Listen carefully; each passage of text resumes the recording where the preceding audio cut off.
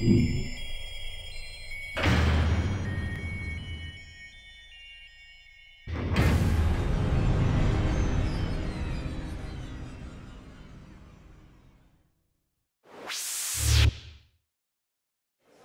is typically practiced for self-defense, right? But one of the greatest aspects of training is mental focus. The ability to focus your mind on a particular task.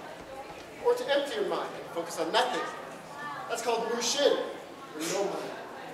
Mental focus is a big part of my training system called Executive Budo. Because it teaches you to focus on what you want and forget about the rest of it. So you can learn body awareness and control of your emotional state. Of course, that's important because then you can respond to things that happen in your life and every day, as opposed to reacting.